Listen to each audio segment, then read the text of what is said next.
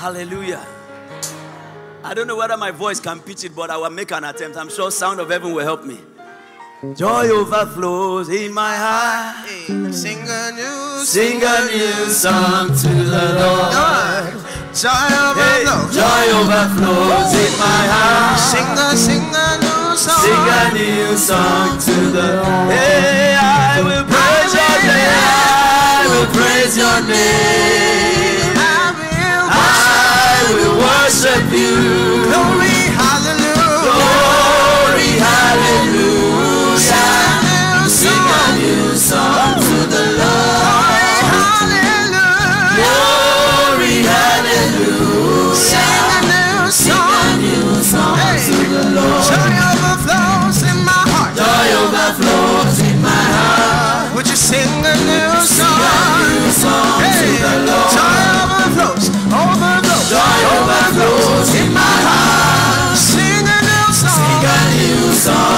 the Lord.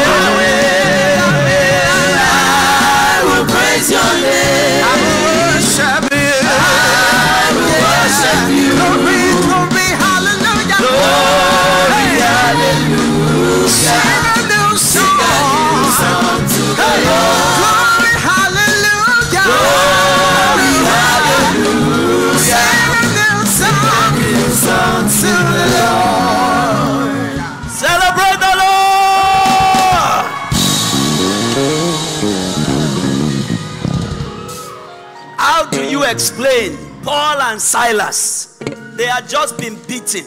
Their hands were in stocks, their feet were in stocks. Yet they prayed, but they didn't only pray, they sang praises to the Lord. And God turned their night to day. Somebody, God is turning your night today in the name of Jesus Christ. I want you to pray this one prayer and I want you to mean it with the whole of your heart. You know, you can come to church and all you had was just a brush. You didn't really have a true encounter. It was just a brush. The message blessed you, the people blessed you, you're on your way home. It was a good service. But when you have an encounter, it has a way of shifting your destiny instantly.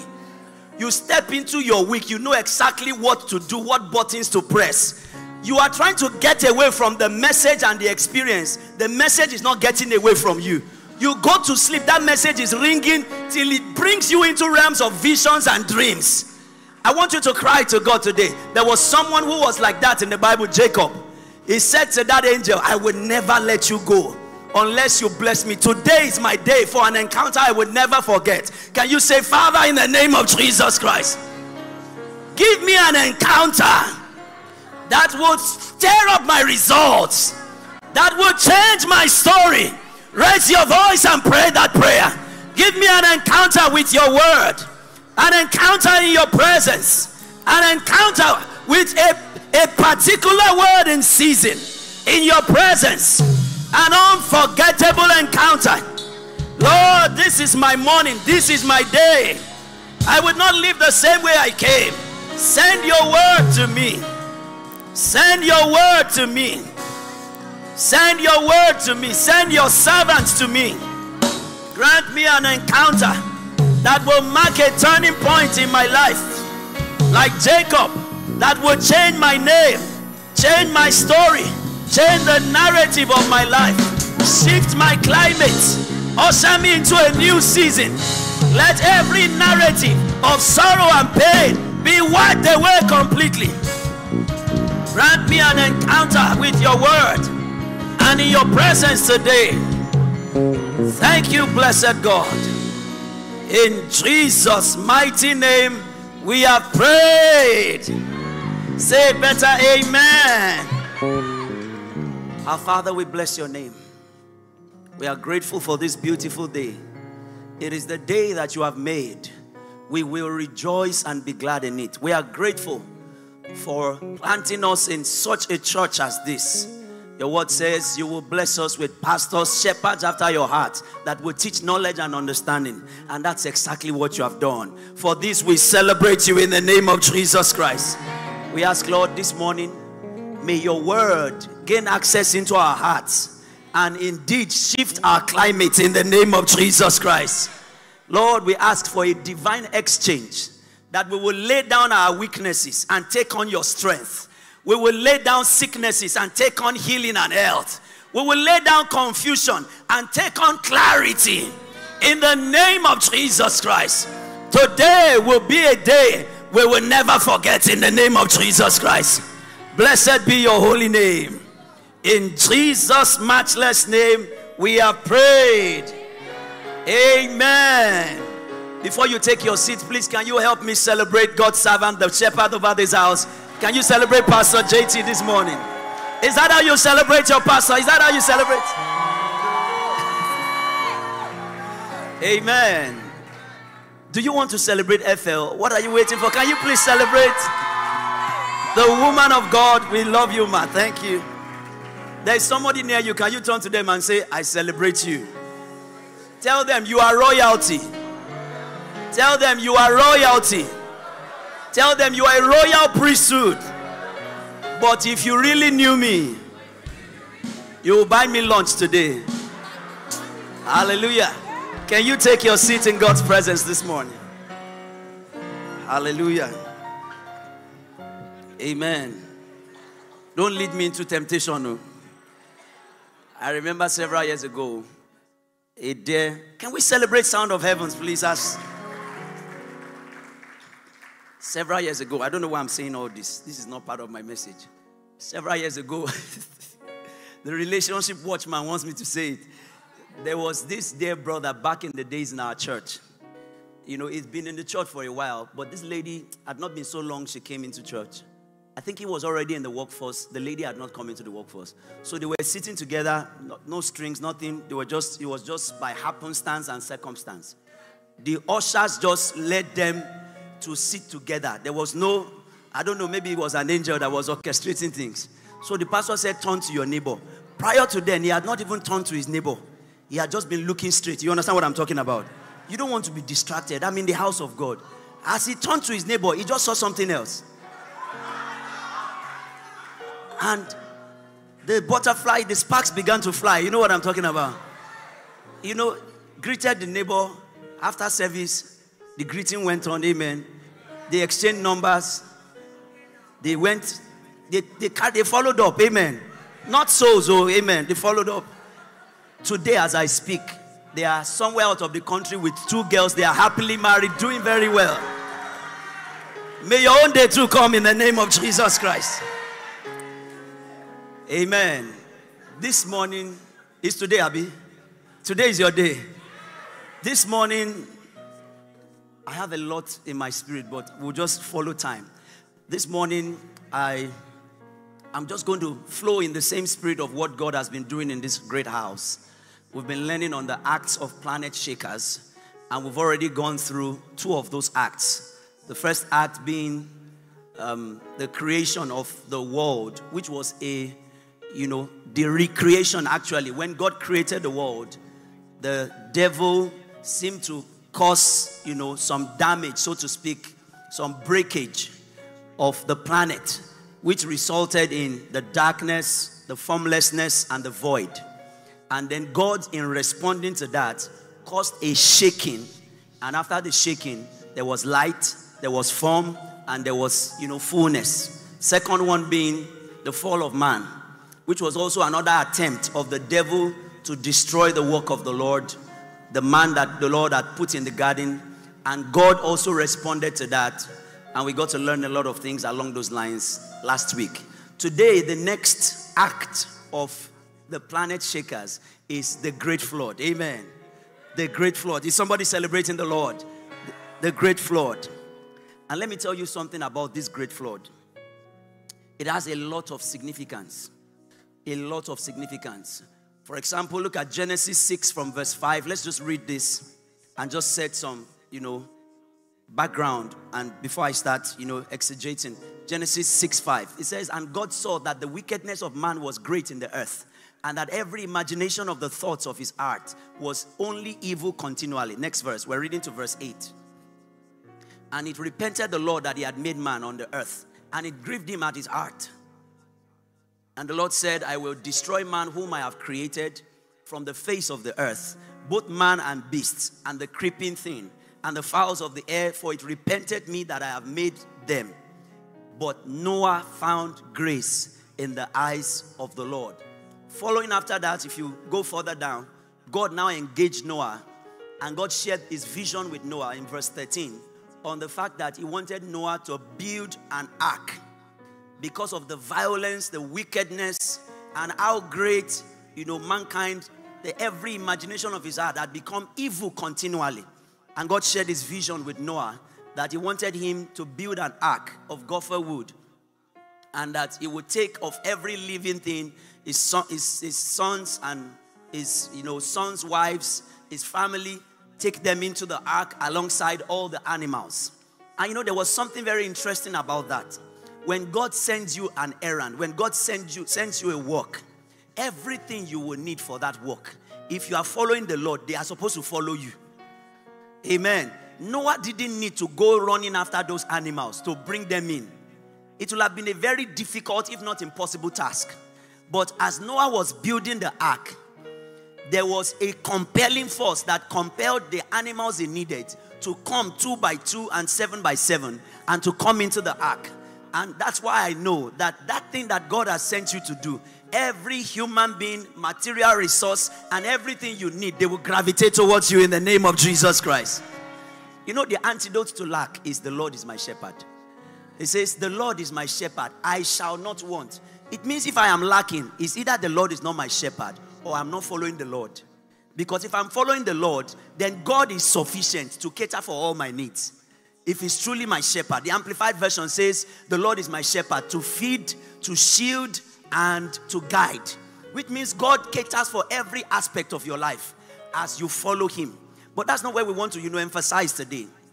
You will also notice that when God shared that vision with Noah, Noah did something in Hebrews 11, verse 7. Noah did something in Hebrews 11, verse 7. The Bible says, By faith, Noah, being warned of God, of things not seen as yet, moved with fear, prepared an ark to the saving of his house, by the which he condemned the world and became heir of the righteousness which is by faith. Who condemned the world, God or Noah? Who condemned the world? Let me tell you something. See, God, whenever God is trying to carry out a project, because the earth He has given to the sons of men, He will start a search. He will start a search. There is a vision in His heart, there is a program in His mind. But because the earth has been given to the sons of men, he will begin a search. And you know, a very good example was in Ezekiel 22, verse 30, where he says, I sought for a man who should stand in the gap and make the edge so that my wrath will not be poured on them. I sought for a man. He was on a search. He was on a search. And whenever he finds a man, he also says, I found someone. For example, he was searching for a king and he found David in in uh, Psalm 89, verse 20. So, this is a testimony of God searching and God finding. It's, Psalm 89, verse 20 says, Can we have Psalm 89, verse 20? I have found David, my servant. With my holy oil have I anointed him. So, God begins a search. God begins a search. These acts of planet shakers that we are learning about, you know, when God wants to carry out a shaking that will resolve whatever damage the enemy has done, God is on a search. Whenever God wants to visit a territory, he begins a search until he finds a man that can partner with him. It looks like, because of the way he has bound himself to man in covenant, it looks like God is helpless. Not because he couldn't have done it himself, but he needs, so to speak, that partnership with mankind to be able to establish that intent in his heart on the earth. And that was what happened. Before I come back to this Noah story, in the case of, you know, in Samaria, when they were besieged by King Ben Hadad in Second Kings 6, verse 24. They were besieged, and as they were besieged, the Bible says the, the, the, the, the issues in that, in that city became so bad. Verse 25, please. Verse 25. There was a great famine in Samaria, and behold, they besieged it until an, a donkey's head was sold for 80 pieces of silver and fourth part of a cab of dove's dung for five pieces of silver. This, this was a very terrible situation.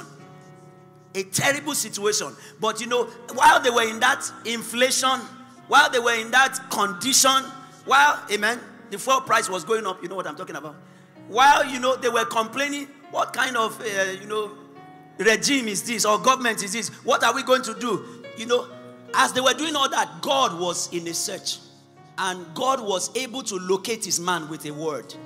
And when he found his man, his man at that time was Elisha in Second Kings 7, verse 1. Look at what the Bible does with his man. Second Kings 7, verse 1. Then Elisha said, Hear ye the word of the Lord. Thus saith the Lord, tomorrow about this time shall a measure of fine flour be sold for a shekel, and two measures of barley for a shekel in the gate of Samaria. God found his man, and what God had in mind, he put it in his man's mouth. His man declared it. And as soon as his man declared it, the next thing after God finds his man is God wants to be sure there's no opposition. Are you there? He wants to be sure there's no what? No opposition. In this particular case, a man, sorry enough, he showed up as an opposition. He became an adversary to the program of God. May you not be God's adversary in the name of Jesus Christ. The man stood against God's program and said, Even if God opens the windows of heaven, this thing cannot happen. God said, I will not even open the windows of heaven, but this thing will happen. Did you see any window open? No window opened. I won't need to open the windows of heaven, but you will see this thing because now you are an adversary to my program. I will clear you out of the way so that my people can walk through open doors. There was an adversary. The adversary had to be taken out of the way. And you know, this, this repeats itself again and again. What about, you know, in the case of, in the story of, of Sodom and Gomorrah? Sodom and Gomorrah, God even came to visit Abraham when he found his man Abraham. And he saw that Abraham was willing and was yielded. He began to share his vision with Abraham. And as he shared his vision with Abraham, you know, Abraham said, Ah, God, you are a righteous judge. You, you will not destroy the righteous with the unrighteous. What if we find, you know, it started with 50? Are you going to, at least with the 50, we may be able to flip the game so that with this 50, a little leaven can leaven the whole lump and we can influence this territory and they can repent from wickedness, from immorality, and from this ungodliness. And God was listening to him 50, 45, 40, 30, 20, 10. And Abraham stopped and God went away. God went away. And what happened after? It, it, God didn't even find five. God didn't find five. So it means everyone in that territory, they were not going to repent.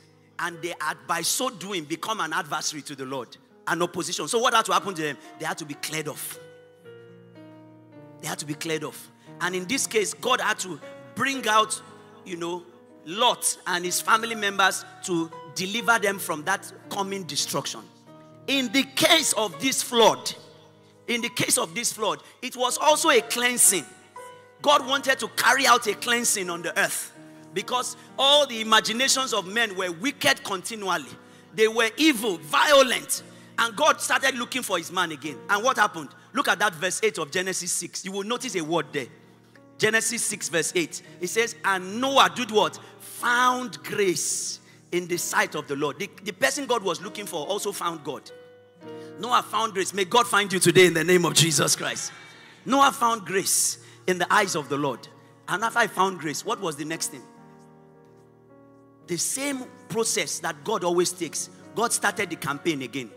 Who is on the Lord's side?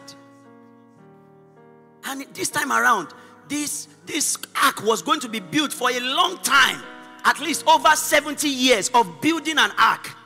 Yet the people insisted that they would not repent. They insisted that they would not change. Did you notice in the case of Nineveh, when Jonah became a partner with God and he cried against the city, what happened to them? From the oldest to the youngest, they repented one whole day of fasting. They cast themselves into dust and ashes, and God, God changed his mind, and God did not destroy the city. So it's not like God just wants to rain his wrath down on people. He gave them that opportunity. And they kept on listening to what Noah was saying, but they kept making mockery of him. They made mockery of him. They didn't follow what he was saying. Eventually, the day came, the D day, when Noah and his family were going to enter into the ark, and every other person, they didn't come in. They kept making a mockery, and eventually, what happened? they all were perished in that flood. They all perished in that flood. It's important to note that I want you, you know, to just do this research yourself. This story of the flood was not just an abstract kind of thing. It was not just a symbolism. It really happened. As a matter of fact, there is a particular Christian professor, Professor or Dr. Coleman, Dr. G. Coleman, Major G. Coleman, who came up with, you know, a lot of different things. Is like, you know, one of the apologetics to defend the fact that that flood really took place. Now, I want to show you something from the things he said. I'm going to read this out to you. He was able to build like a model kind of ark. He scaled it to look like the kind of ark of Noah so that he can use it as a basis in challenging science. For science to believe that the Bible is true, that the Word of God is true, that God is actually alive. And you know, he's been making a lot of success. Major G. Coleman. Look at some of the things that, you know, were postulated and some of the things that came out of his own finding. He said that that ark was about 550 feet long, 100 feet high, and 80 feet long. The flood lasted for over a year, and the entire world was covered with flood. Now, look at, listen to this. He said there was a subterranean water chamber 60 miles beneath the earth crust, like an ocean of water under the earth. You know that the earth is founded on water. In Psalm 24, verse 2, the Bible says he had established it upon the seas, he had founded it upon the flood. So the, the, the, the water that is underneath the earth crust Look at what happens. The water began to rise in tremendous pressure. That was what happened at the flood. There was a quickening of the flood, the water beneath the earth. It began to accelerate in tremendous pressure till it reached a thousand degrees. Listen to this. So much so that that earth crust cracked and it burst out with the power of trillion billion atomic bombs. The burst that took place underneath the earth is, is same with the power of trillion billion atomic bombs. That was, you know, the busting that took place. You know, the Bible says, you know, in Genesis, I think it should be 11, verse 7. Genesis 11, verse 7. Let me just get that correctly. Genesis 11, verse 7. Genesis 11, verse 7. No, no, no. 7 11, please. 7 11. 7 11 in the 600th year of Noah's life, in the second month, the 17th day of the month, the same day where all the fountains of the great deep broken open. That was what they were describing there. It broke open. So water came out from underneath the earth. And then the windows of heaven too were open. And so water came down from heaven as well. That was why there was no escaping. Water was coming out from underneath the earth and water was raining down from heaven above. So much so that the pressure of water was so much till it completely buried not only every human being and every animal, it buried mountains. Buried mountains. Buried mountains. Of course, if you go on studying about what the man is saying, you will realize that when you check even very tall mountains like Mountain Everest, you will find sediments of like limestone and all those things, showing that it was submerged underwater at some point in time. Submerged underwater at some point in time. But that's not my focus this morning. I want you to note something. Water came out from underneath the earth, and water came down from heaven above. That is indicative of something. Water came out from underneath the earth, massive rush of water, and water also came down from heaven above. From heaven above. Now, this, this points to something very, very important that I want you to see. This water coming out from underneath the earth is showing us something about the, the, the, the way revivals should take place. Because what was happening, just like the other ones I shared, and I will share more, you know, is similar to God bringing a revival to a territory. If you look at the story of even Elijah in First Kings chapter 17, the Bible says Elijah just appeared. And then he said, You know, there shall be no rain except at my word for the next three and a half years. And as soon as he declared it, he went into hiding. and God began to take care of him. And the words came to pass just like Elijah said it. He locked the heavens and put the key in his pocket. Locked the heavens for anything at all that wants to come down from heaven. And then he went into hiding. Please follow closely. When there was famine in Samaria, there were two sets of people that were not suffering. And you need to note this.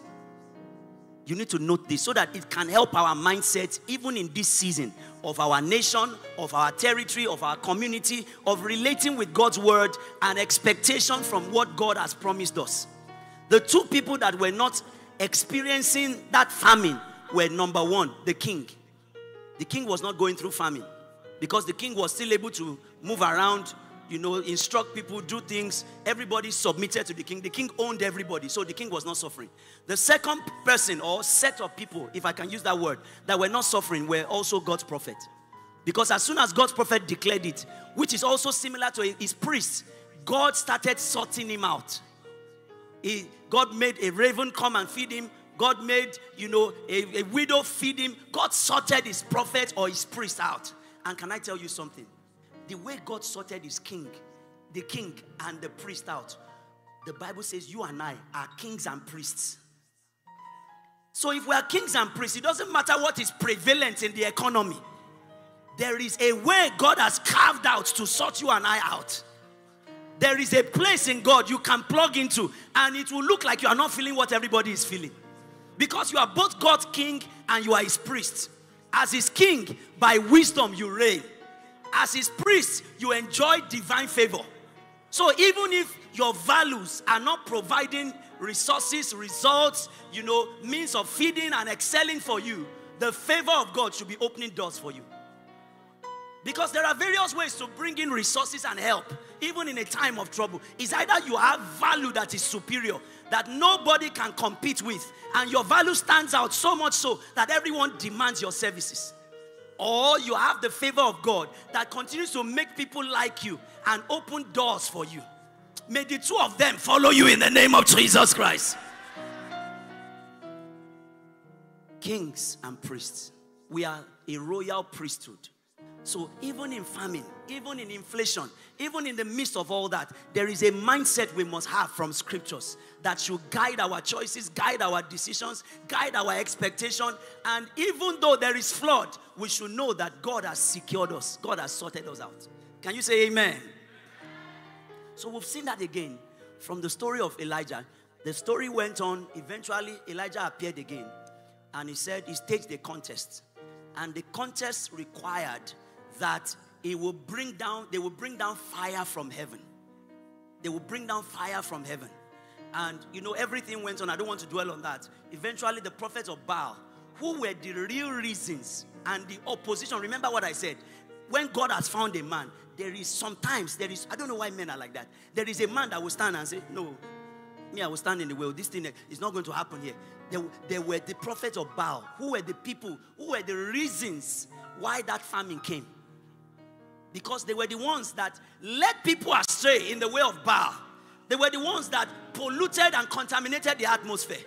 And so they had to be cleared out of the way before the rains will come.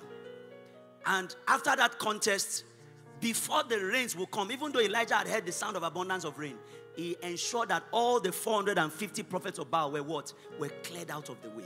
May God take out of your way every adversary in the name of Jesus Christ. They don't have to die. I've shared this before. A certain young man, a Christian, well taught by his pastor, went for an interview. It was a juicy job, it was a dream job, it was a great job.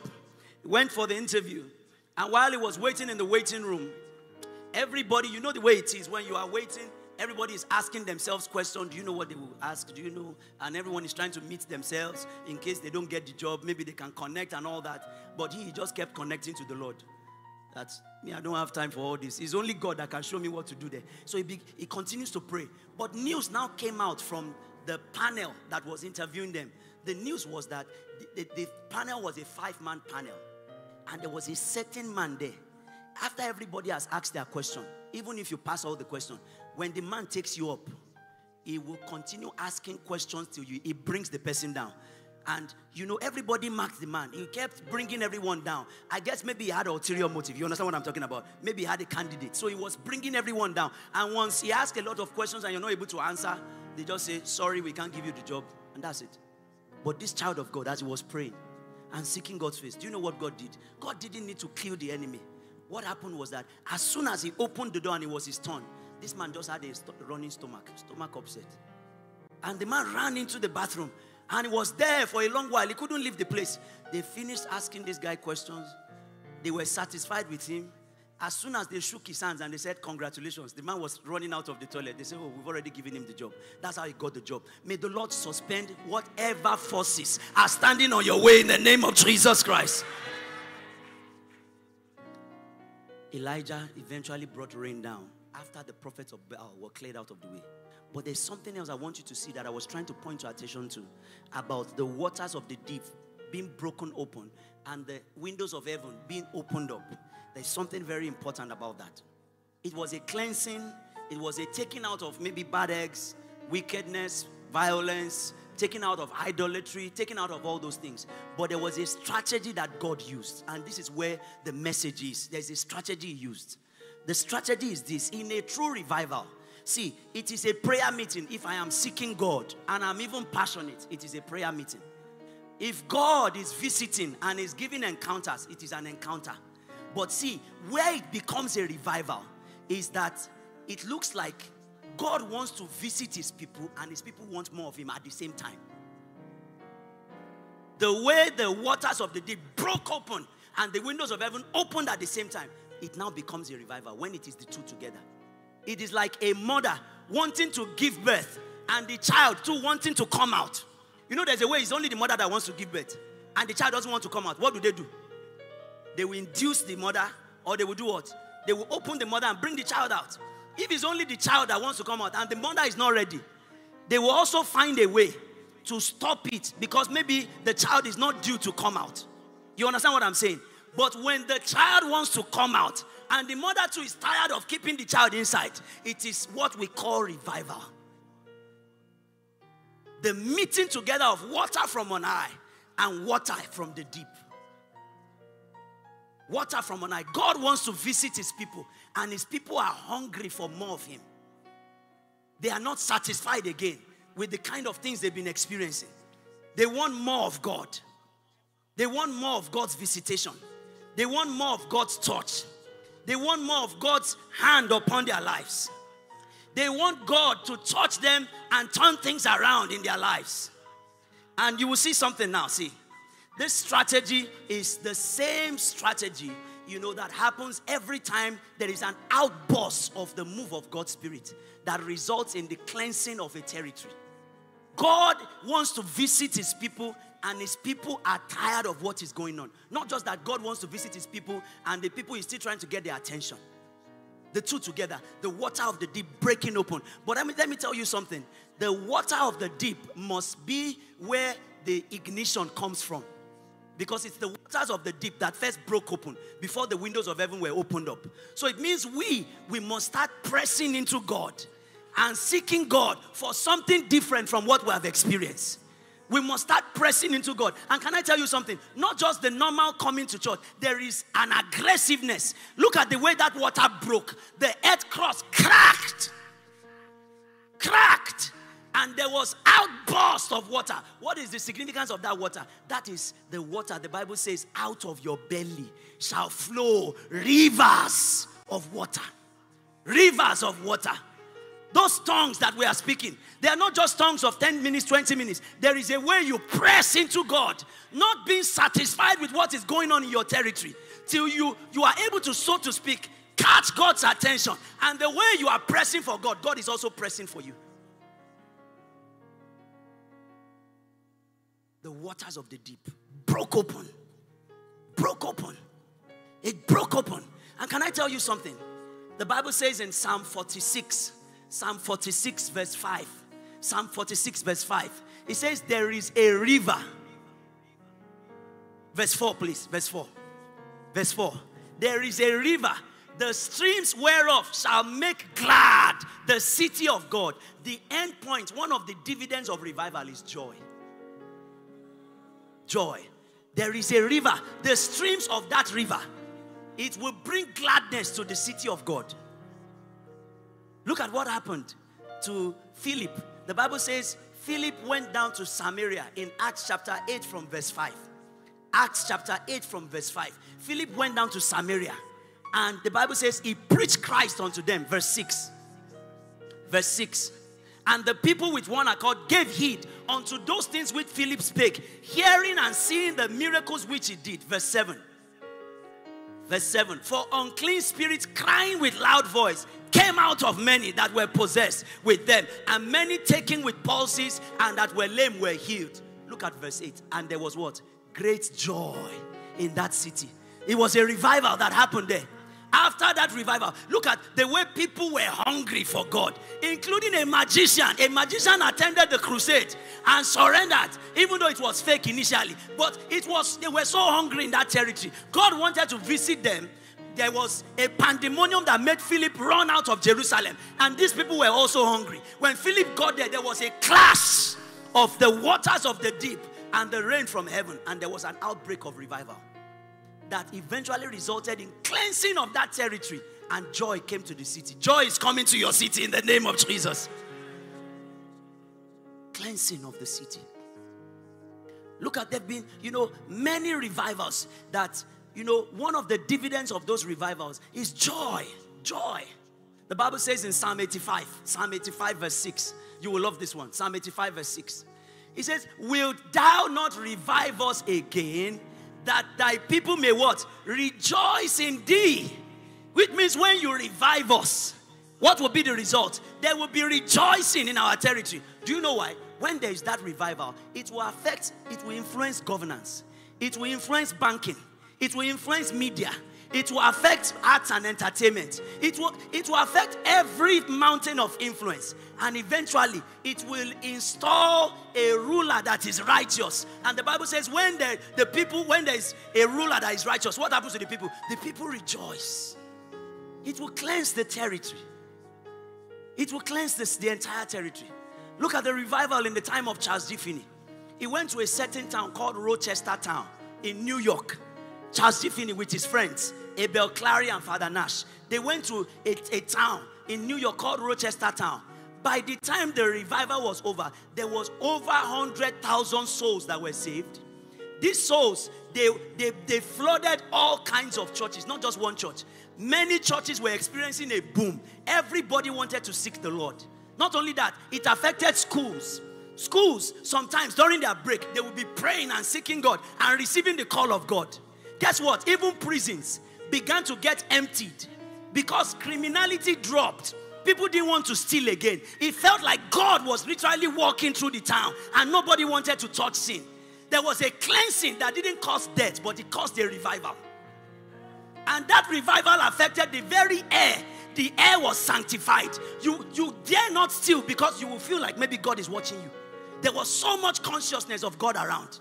There was a cleansing of that territory by virtue of the revival that you know, Charles. Finney brought into the city. Guess what? Secos came to town. Secos. Only three people wanted to attend Secos. Secos had to pack up and leave because they will suffer loss. All the beer parlors, the honky tonk joints, they shut them down. Nobody wanted to drink alcohol. Nobody wanted to drink alcohol. People, even people on the streets, where they were holding services, they will fall down on the knees on the street. Policemen will say, Come and carry these people inside. They are crying outside. Instead of them to enter and come out, they will now pack people into, they will come to the altar and start confessing their sins, receiving Jesus Christ as well. May those times come again in the name of Jesus Christ. See, there will be need for this degree of visitation before the Lord returns. You know why it affects the return of the Lord?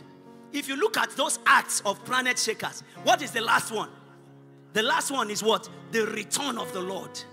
That's the last one, the 12th one. And Jesus, in his return, said, The coming of the Son of Man shall be likened to the times of Noah and the great flood, which means the same way the flood in the times of Noah had to do a cleansing. Before that visitation of God came to stay, there will have to be that kind of cleansing and revival before the Son of Man returns. May the Son of Man return and find you serving his purpose in the name of Jesus. Many times we get distracted by what will we eat, what will we wear, where do we go, and all those things. And those things are very important. But as you are seeking all those things you desire, see, know fully well that God has a program. Let me tell you something. The lowest level of the kind of gift God can give you are things. Now, things cut across everything. Oh. Give me an example of things, please. Private, God bless you. Cloth, a change of wardrobe, Abby. You enter your wardrobe, you're like, my goodness, everything I used to use before, everything is completely changed. I have all the designers. Beautiful. What again? Power bike, estate, cars, designers, jewelries from head to toe, Tommy Hilfiger from head to toe, Gucci from head to socks. Eh? You understand what I'm saying? All the th- they, are, they come under things. They are what? Things. But God wants to give us things. Oh. But see, there is a higher order of what God wants to give us. The second order is the loyalty of men. When you have the loyalty of men, things follow men, so those things will come to you. God wants to entrust you with men that will look up to you and believe in you because they've seen that you are a light and you are an illumination, you are an inspiration. I used to say when I was younger, I'm a positive influence. Somebody declared, I'm a positive influence.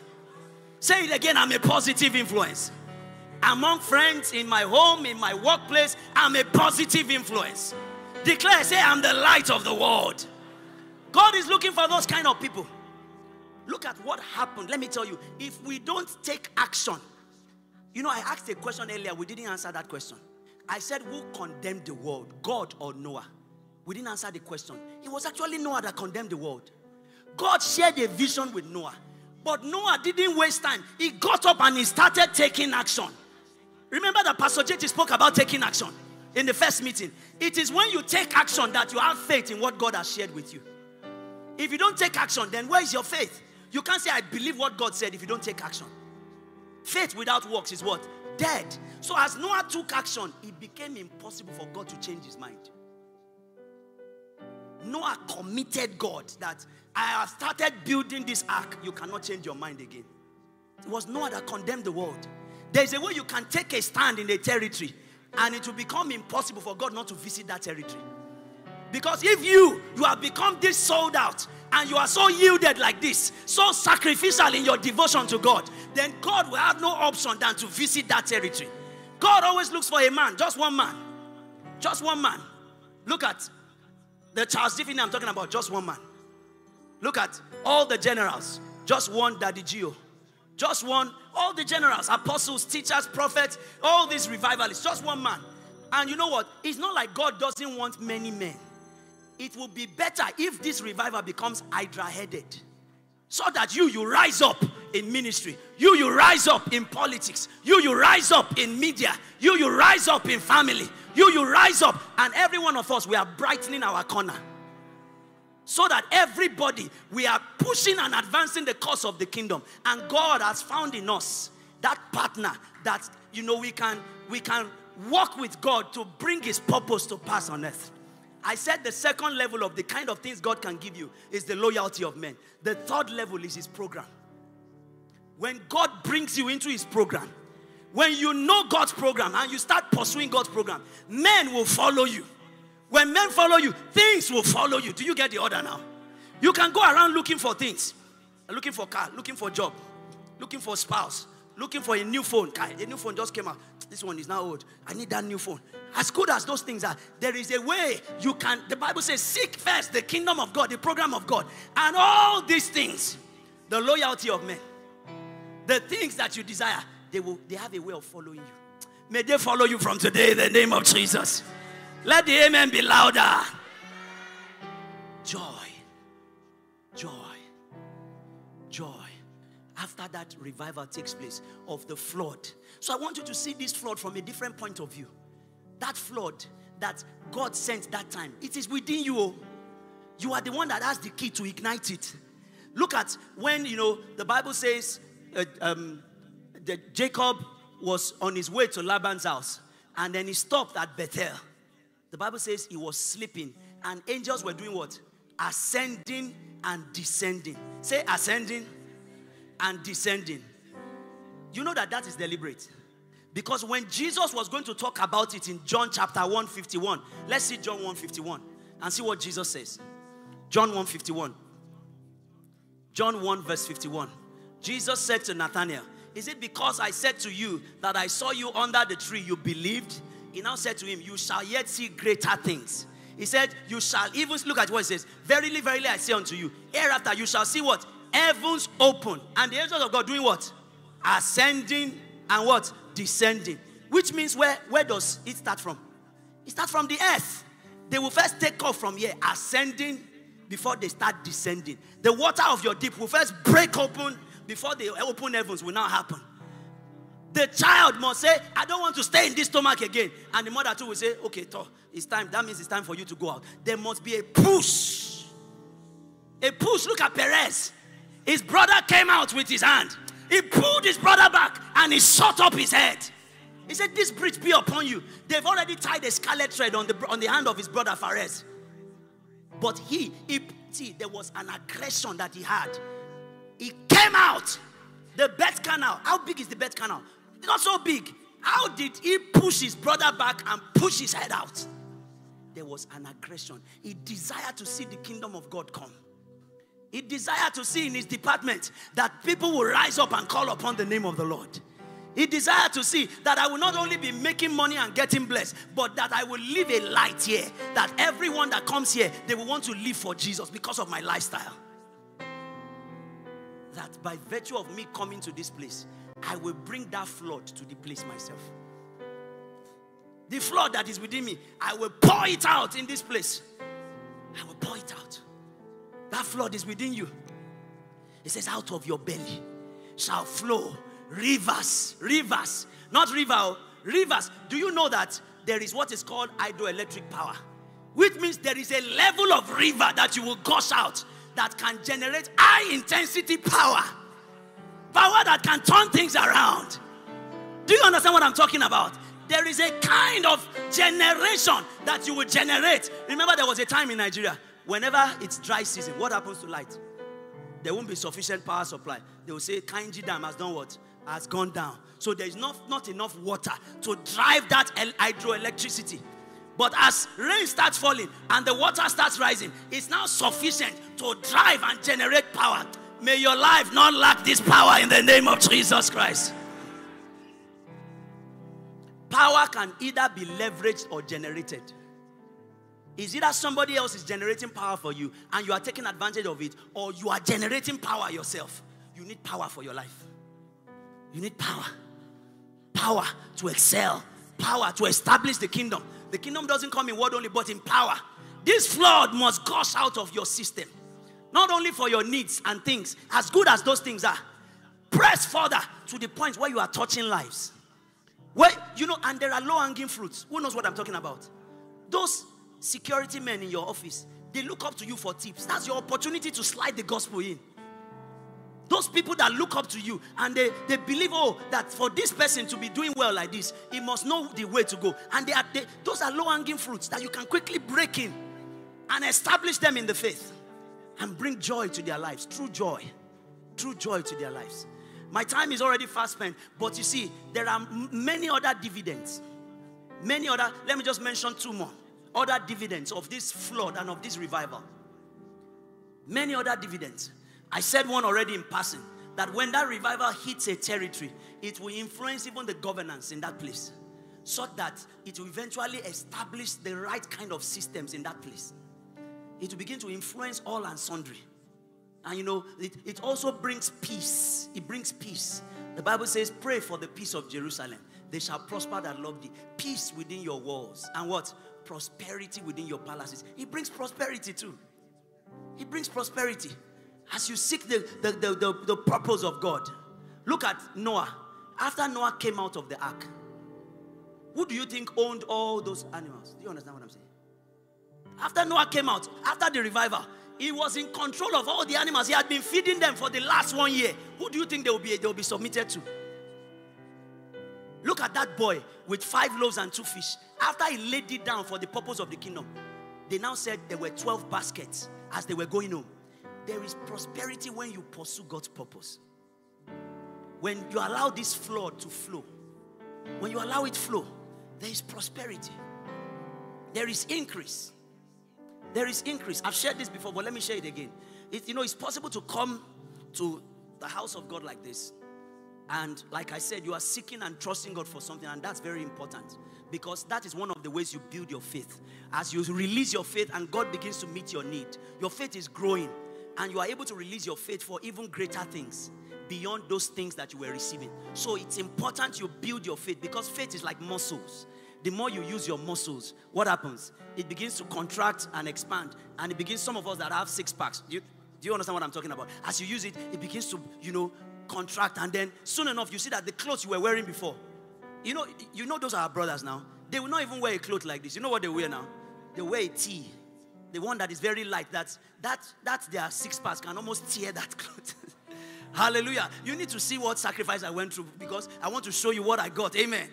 You know, so it's it's it's it's very important that we know that as we are pressing into God, there is something happening. Our faith is being built. However, beyond those things we're asking for, we must also come to the place where we find out God's program. God's program. Look at these acts of planet shakers now. It begins with, you know, Genesis 1, but it now culminates in the coming of the Lord. What do you think, you know, Pastor is trying to get, get us to see? He's trying to show you that, see, anytime the devil does a thing, God already has the answer. But God is looking for a man that can partner with him. So that, you know, that man, through that man, you know, that glory can be revealed in the cosmos and the name of the Lord can be glorified. But that man will never be the same because the man will also enjoy blessings, enjoy promotion, enjoy increase, enjoy expansion. Can somebody say amen? I'm closing now. As I was praying and waiting on the Lord and seeking God concerning this message, this great flood, you know, as I pressed into God, asking Him, I don't just want to talk about a great flood that is not applicable to our lives. The great flood happened how many years ago? What is the application to our lives now? And you know, as the Lord was showing me these things, He showed me that there was a person here who your life looked like a basket. He showed me a basket. You know what? Something that is about a basket, there are leakages.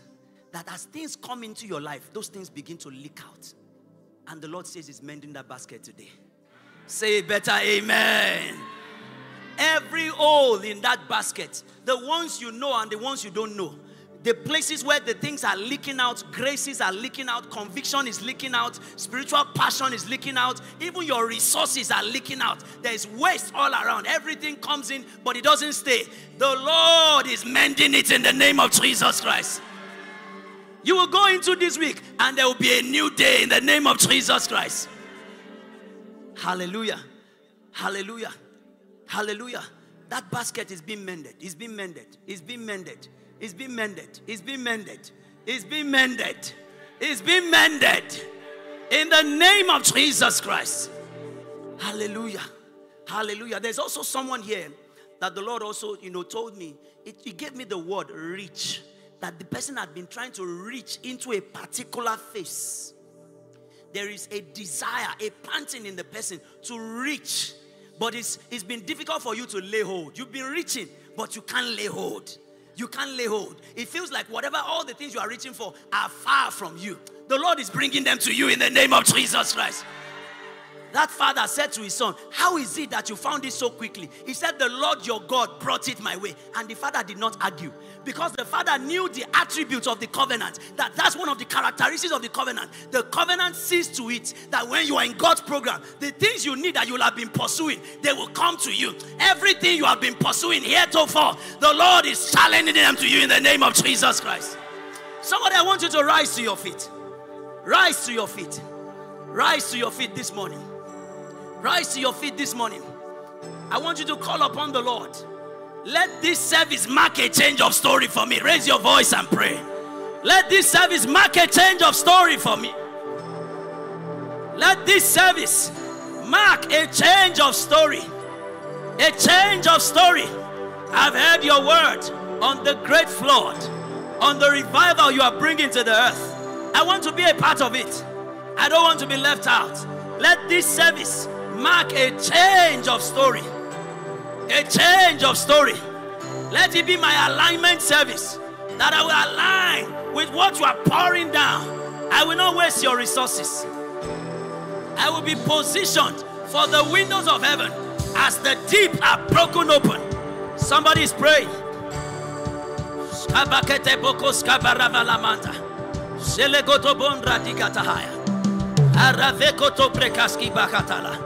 Shalabakata baprakteke to brambila kaskavarata.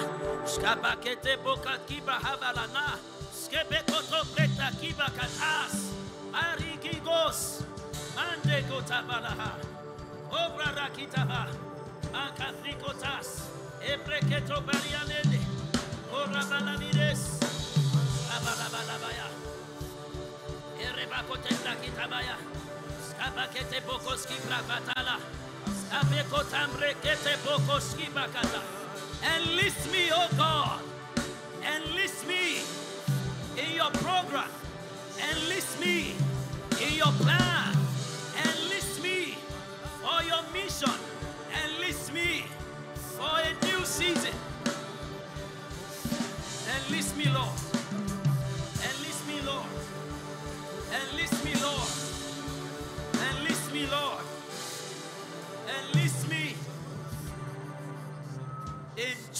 Jesus' mighty name we are prayed. Say better, Amen. Two more things that the Lord laid on my heart.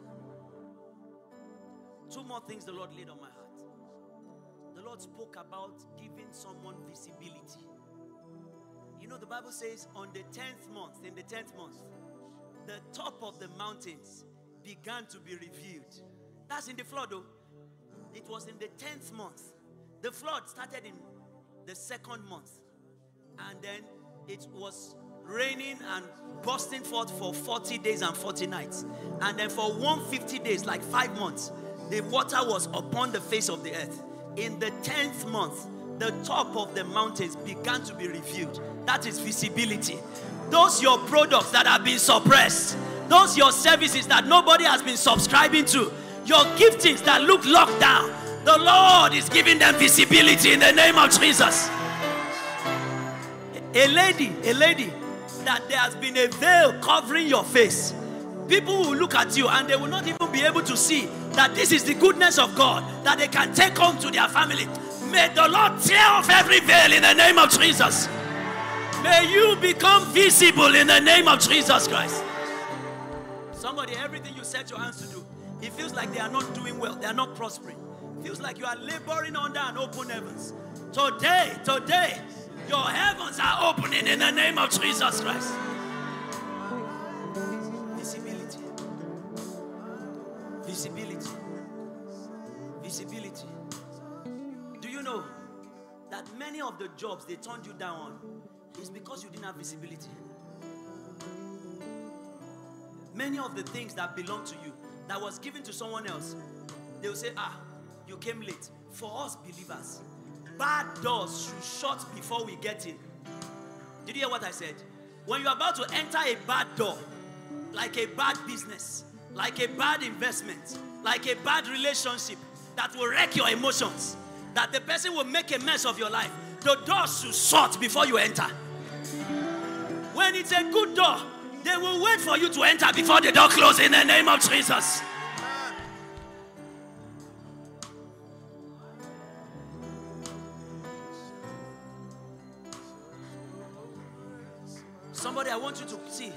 I want you to release a violence. There's someone here. See, I heard this very clearly. You, you've been, you've been, you are not so confident that you will live to fulfill God's purpose.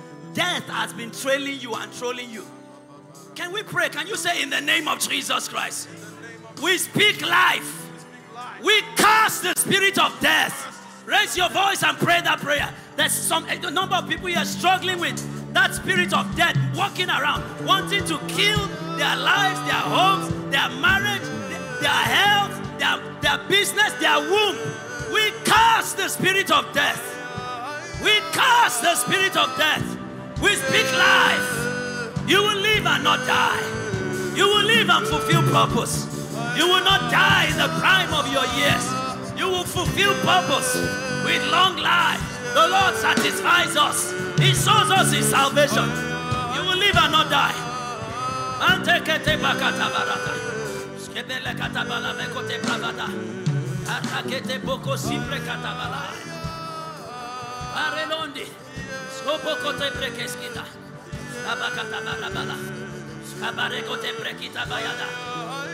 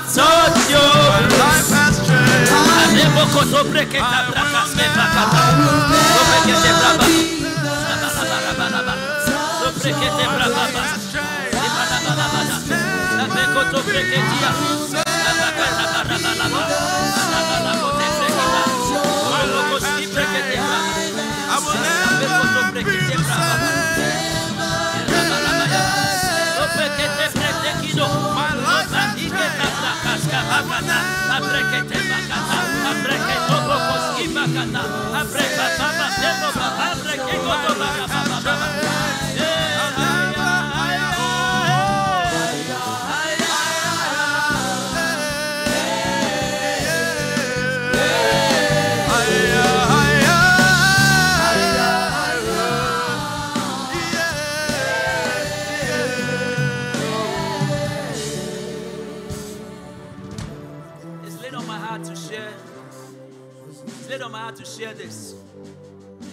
Life story of a certain customer of mine when I was still working in financial institution.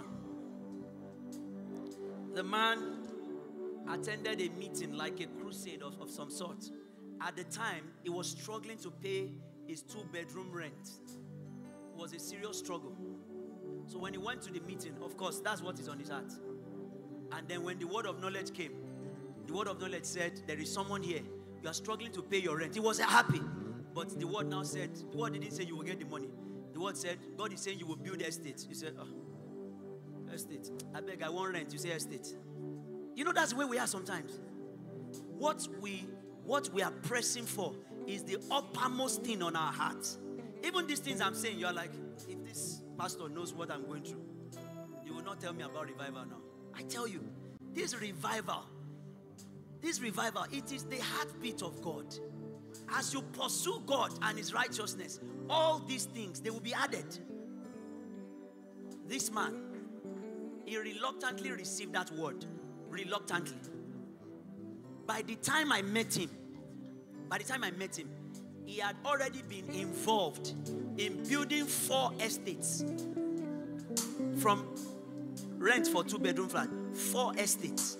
Some of them partnering with people, some of them building for people, some of them, you know, just joint, you know, this joint stuff. The fourth one that he was on at the moment, that they were still working on, they found precious stones on the land. So they had to cordon a place off and they started bringing in people from South Africa so that they can come and use their expertise. They were building only on one side. God can settle you. God can settle you. Pastor will come up and talk about acts of planet shakers. It doesn't even sound appealing. Which one is acts of planet shakers? Talk about my needs being met. Talk about me being healed. But see, as you plug into the program of God and you are involved in what pertains to God, those things that pertain to you, you will see wisdom, you will see favor, you will see doors opening for those things to be done. Not like you should totally abandon them, but God has you in mind. He has you in mind. He was on his fourth estate, fourth. Fourth estate. Somebody, I want you to just talk to God in one moment. Like I said, it's not like God doesn't want to bless you with things, but He wants the perspective to be correct. He doesn't want you to exalt things above Him, above His program, above, above His kingdom. He wants you to put things in their place so that when He places a demand on those things, you can easily let them go. You will not say, No, no, no, no, no, no. You can easily let them go because you know He gave you in the first place. And if He's asking for them, you know what someone said? Someone said, when when I shovel to God, God shovels back to me, and His shovel is bigger than my own. His shovel is bigger than your own. When you shovel to God, that God, this is your own. By the time God will shovel it back to you, it will overwhelm you. It's not a fair deal. It's not a fair deal. It's to your advantage. It's to your advantage. It's to your advantage. In one moment, I want you to cry to the Lord that the Lord will enlist you as a planet shaker. He will enlist you in this his program. Somebody talk to the Lord. Enlist me in your program. Your program in this church. Your program on the earth. Your program in my office. Enlist me in your program. In my school. In my family. In my business. Enlist me, Lord. Enlist me in your program. Enlist me in your program. Enlist me in your program. Enlist me in your program. Are you praying? Are you praying this morning?